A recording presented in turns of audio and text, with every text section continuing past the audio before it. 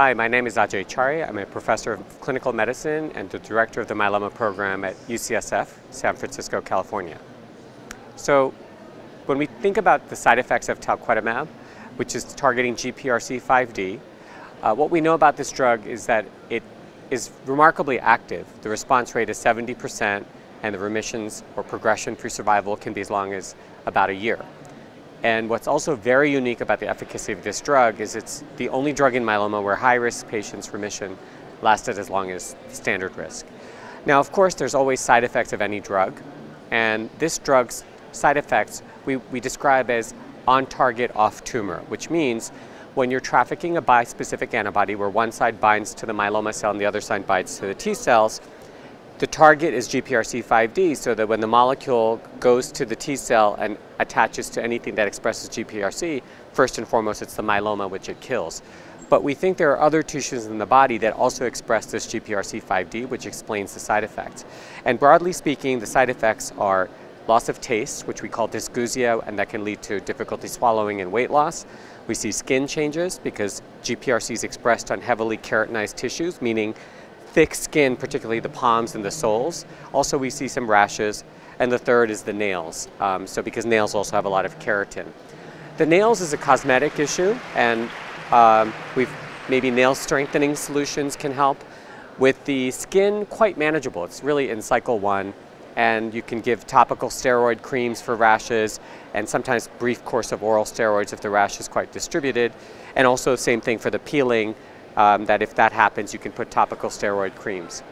I think the biggest concern has been how do we manage this dysgeusia, difficulty swallowing, and weight loss. Now, certainly you can um, do salivary substitutes. Uh, it's important that if you lose saliva that you maintain good hydration because otherwise you can have dental issues and so it's good to keep up with a dentist, do oral hydration and rinses and try to keep up your weight.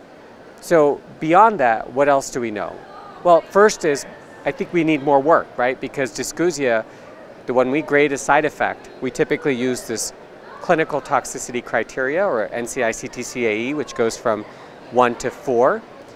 And the problem is that dysgeusia is a side effect that we don't have a lot of information about, but we only have low grade, so we can't even characterize it well because we only have grade one and two. So the first thing is we need to do a better job because taste is mediated by salty, sweet, sour, uh, bitter. And so we need to understand which tastes are really being affected and how long.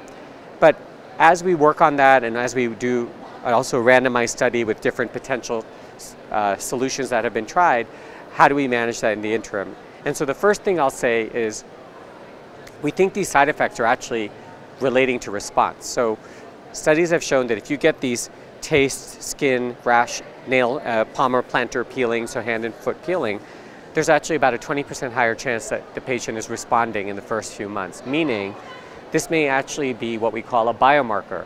We don't have a lot of examples of this in myeloma, but in other diseases, when patients, for example, have a rash, it usually means that the patient is responding. Here, I wouldn't say it's that one-to-one, -one, because the good news is 70% of patients respond, which means the vast majority of patients respond, but also about 70% of patients will have loss of taste. So it's not a one-to-one, -one, but chances are if somebody's responding, they're probably probably those side effects are going to be present in that setting of response. Maybe they're more sensitive. So then what do we do next? Well, we can actually decrease the dose intensity. And I can tell you, participating in the phase one study where we studied very low doses of the drug and worked our way up, because as with all phase one studies, you need to find out what's the active drug level. The first 30 to 40 patients had none of these side effects that we just described. And it was only as we were getting to the higher doses, and in fact, it, when we have these early phase studies, you're asked as an investigator, is this side effect related to the drug or not? And when it first happened, we said, maybe not, because we dosed 40 patients and we didn't have any of these side effects. But then as we got to these higher doses, it became clear that there was a relationship. So these side effects are related to the dose, and what we've shown in prior presentations is that when you skip or reduce the dose intensity, skip a dose, reduce the frequency, or reduce the amount of the dose, these side effects actually improve. And the good news is that the efficacy is not compromised. So at this point, I probably treated about 150 patients with talquetamab um, on and off clinical trials. And I can think of only one patient that we weren't able to find the right dose and schedule to keep them on this treatment and benefiting. And lastly, I'll say, when I'm consenting patients and talking about these side effects, I don't by any means want to minimize the impact of taste on quality of life. And that is a patient perspective. And as I said, we need to do a better job of understanding the patient perspective. But what I start with is, you know what I didn't tell you as side effects? Death. We don't see deaths with this drug like some of the other products where patients' myeloma may be controlled, but they're dying of infection. So we're not seeing that. In fact, in New York, we were in the epicenter of COVID, and we did not lose patients to COVID with talquetamab.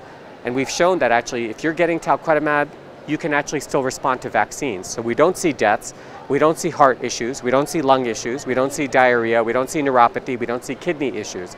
We see these other side effects, but they're manageable by changing the dose and schedule. So I think that's what makes this drug so unique.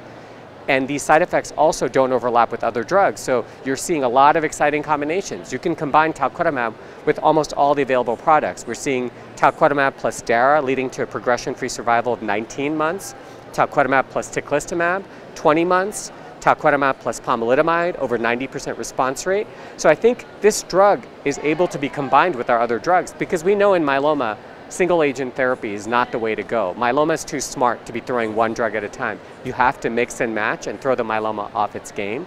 And this drug can actually allow you to do that. And what I'm really hopeful for is that in the future, as we do more combinations, two drug, three drugs, maybe we can back off on the dose so that you don't even have to have those side effects at the beginning. And then we can get this great, amazing synergy with efficacy without those side effects. But I think it's really exciting to have this option. And it's the only GPRC targeting therapy. We have a lot of BCMA targeting therapies, but this is unique. And I think that's why uh, I, I, I, hope that patients and providers um, take advantage of it because um, one other place we've used it a lot is we know that CAR Ts are really effective, but if you have CAR T with, if your disease is exploding, CAR Ts are more risky at that point. And so one, what we sometimes do is we collect people's T cells and give talquetamab as a bridging because we've already collected the T cells. We don't want to give bispecifics before collecting the T cells because that might impair the CAR T, but collect the T cells, have it manufactured, and in the meantime, don't let the disease go out of control. Use talquetamab for whatever one to three months to knock the myeloma down, and that way when you do the CAR T, you can actually get those benefits without the side effects that we worry about, like Parkinson's and secondary cancer. So I think it's a great molecule to have, and I'm glad that we have more options for our patients.